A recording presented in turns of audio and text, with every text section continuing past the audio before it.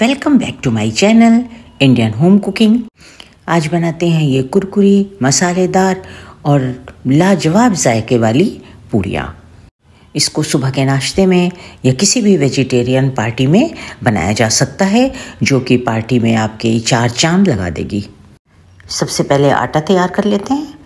इसके लिए दो आलू लेंगे, जिनको कि कद्दूकश कर लेंगे।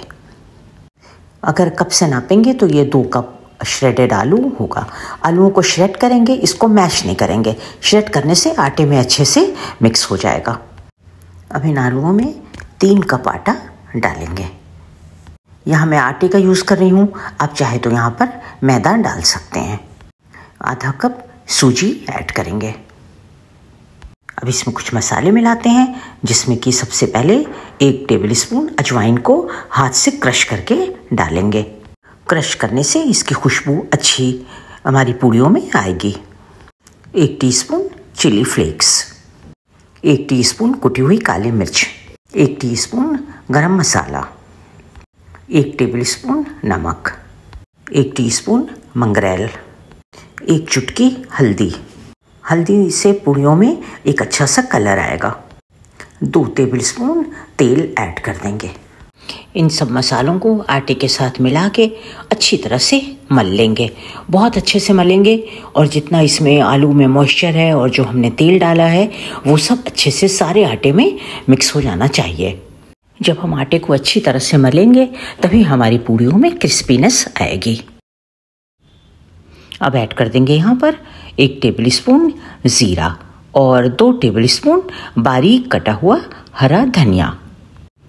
अब इसमें थोड़ा थोड़ा करके पानी मिलाएँगे।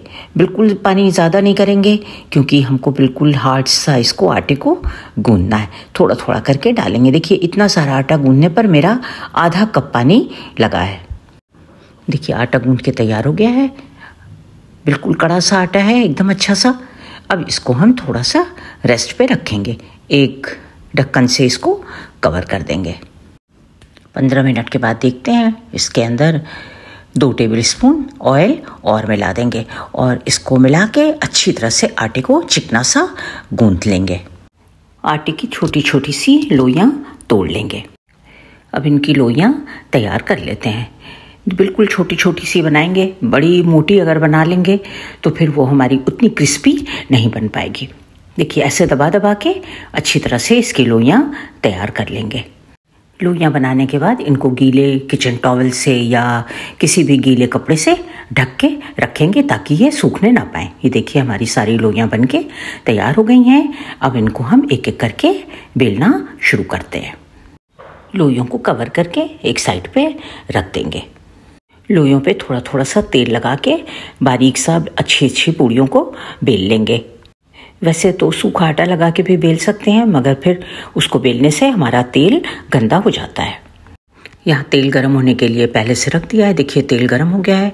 पूड़ियों को जब हम डालेंगे तो थोड़ा फुल आँच रखेंगे। उसके बाद जब पलट देंगे तो आँच को कम कर देंगे। इस तरह से जब हम तलेंगे तो हमारी सारी पूड़ियाँ फूलेंगी भी और एकदम से क्रिस्पी तैयार होंगी। देखिए, ये सारी पूड़ियाँ, देखिए, सारी फूलती जा रही हैं। ये हमारी इस तरह से पूड़ियाँ बन के तैयार हो जाएँगी। ये बेहतरीन पूड़ियाँ बन के तैयार हैं। उम्मीद करती हूँ कि आपको ये रेसिपी पसंद आई होगी और आप इसको ज़रूर ट्राई करेंगे। वीडियो देखने के लिए बहुत बहुत शुक्रिया।